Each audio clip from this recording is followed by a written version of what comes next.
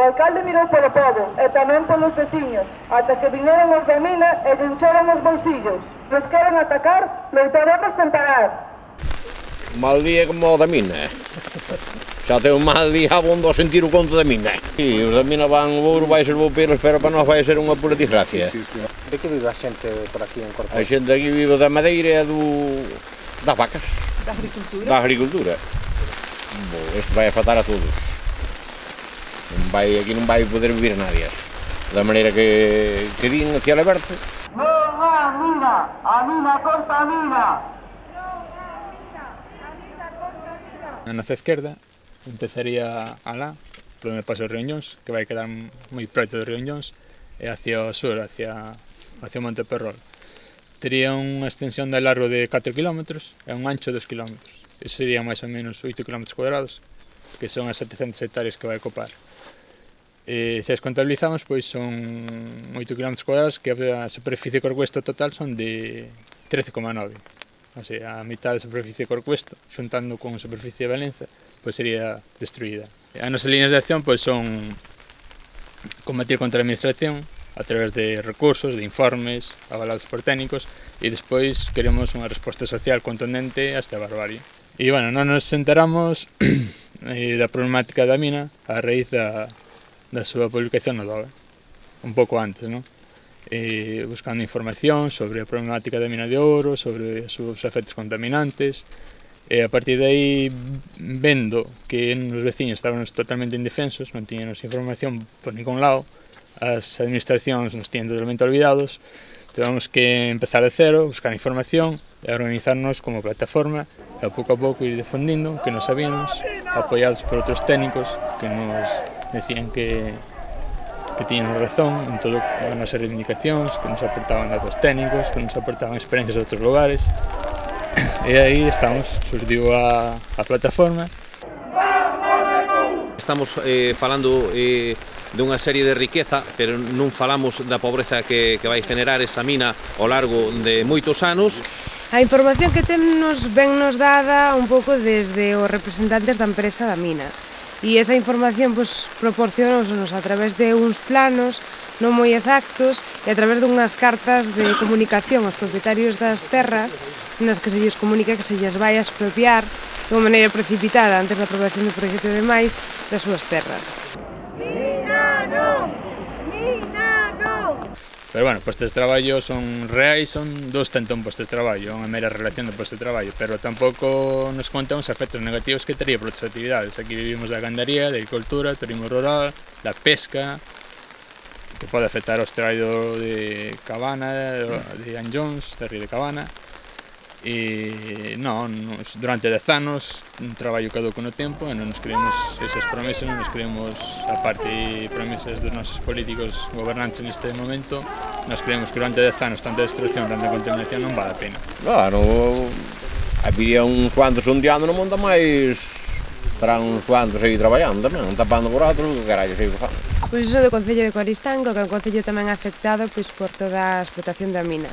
Non só por os límites geográficos que toca, senón ao final pois, por todos os efectos que conleva a mina, tanto contaminantes como de transporte, de cianuro e de expropiación de terras e demais. Hai un estudio feito pola Sindicato Galego Labrego que isto podría afectar eh, as parroquias colindantes, en todo comarca, máis de mil explotacións agrícolas candeiras.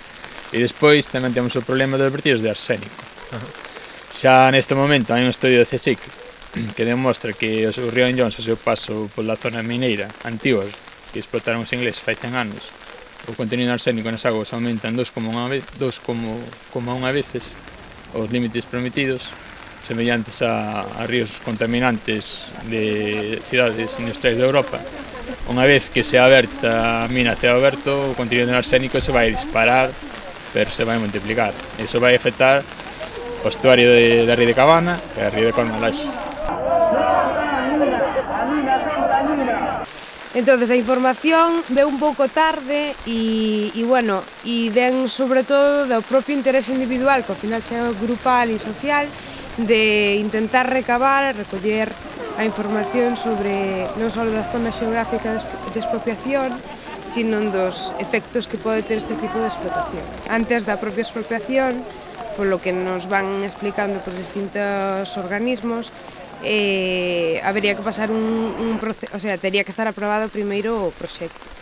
Non a mina, a mina contamina, non a mina, a mina contamina. Os alcaldes son, en este caso, eh, os veciños reclaman as súas respostas. Non? Esas respostas todavía non chegaron e esas respostas, no caso de, do Concello de Coristanco, viñeron acompañadas dos representantes da mina. Eso é un pouco un, unha demanda que, fa, que fan os povos a hora de, de que o alcalde se sente con elas a explicarlles pues, realmente cales son os efectos e cales son os beneficios deste tipo de explotación na zona. Non a mina, a mina contamina! Non a mina, a mina contamina! Inicialmente, eh, a oferta económica que, que dan é moi baixa. Creemos que son os nosos propios argumentos da necesidade de vivir na túa zona dunha maneira sana e sostible, non? e vivindo pois, do que hasta agora se está vivindo, que é ganadería, agricultura, pesca e demais. Entonces nós creemos que eh, o desarrollo desta zona parte de fomentar todos esos recursos, non de unha mina que ao final ten unha duración temporal. Para o futuro da vida, da auga e da terra, Non a minería a todo aberto. Xuntos podemos. Con relación aos postos de traballo hai poucos. Eles dan unhas cifras, pero son falsas. Eh, hai pouca xente traballando e a xente que hai pasa toda por eh, a empresa de recursos humanos que está eh, recentada eh, ou presidida en certa forma polo alcalde do Concello de Cabana. O que hai son probas de sondeos actualmente o que temos. Bueno, pois pagan unha cantidad significativa e convencen aos propietarios para que lles permitan o acceso ás fincas. Polo que puiden ver eu na páxina web de Edgar Water, o que hai son fotos da Romaría de Santa Mariña, onde todos os veciños suelen ir pasar o día coa familia, celebrar o que é a, a, bueno, a, a festividade santa e tomaron fotografías desa romería para eh, poñelas como exemplo da boa relación que había co, coas, coa población de Corcoesto. Cando eso na realidade non é así, é unha manipulación das imaxes tomadas da celebración dunha festividade. Eh, por outra banda, nós temos informes técnicos xa aportados ao expediente donde os propios técnicos poñen de manifesto que esa conformidade ao proxecto pois que non é tal, que hai unha gran disconformidade e de feito así o amosan as numerosísimas alegacións que hai ao proxecto e recursos potestativos de reposición. Presentáronse numerosos recursos, todos eles avalados por informes técnicos, Alcalde, escoita! A xente está eleita! Alcalde, escoita! A xente está eleita! A loita de San Groves, eh, máis paralelismo co Camino de Corcuesta. Da San Groves fixeron, bueno, pero fixeron tamén unha explotación dese tipo e a xente, pois, pues, meter en unha hecha de cousas. Pero, en realidad, os pel, o sea, onde se fai unha mina, sempre a destrucción inventan aquel conto de que che van puestos de traballo e, e venden che catro cousas, pero depois a realidade non é esa. E ali houve, pois, bueno, ocupacións e cargas da Guardia Civil e estatazos e prisión e, e bueno. Hoxe non estamos neses tempos, pero a presión mediática aquí é igual. É igual. É igual, é que hai enfrentamentos, hai familias enfrentadas uns cos outros e, e esa é unha presión que non, non, non debía de ser destes tempos. Alcalde, escoita! A xente está eleita! Alcalde, escoita! A xente está eleita! Alcalde, escoita! A xente está eleita! Sí, a mitad da superficie vai ser destruída, polo tanto nos sacan a terra da que estamos a vivir agora. Polo tanto, eh, por esa regla de tres, pois, vai desaparecer o povo. Antiguamente dixo oh, oh. que houve. Sabíase que había ouro aquí, non? Bueno, dicían eso, pero non era como agora, non era a Sierra Verde, era brojerarías a pozos, facendo pozos e cousas deses. Un proxecto que o definiría como colonial.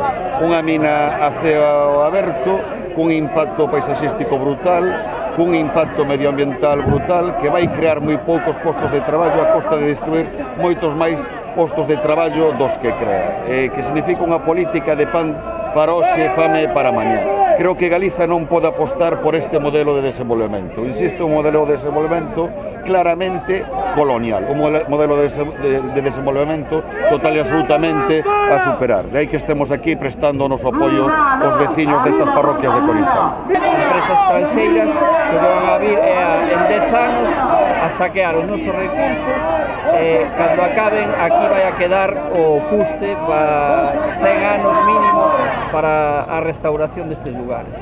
Antonio! ¡Aplauda división!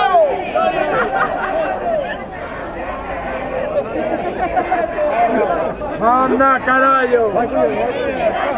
¡Mercenario, mercenario, mercenario!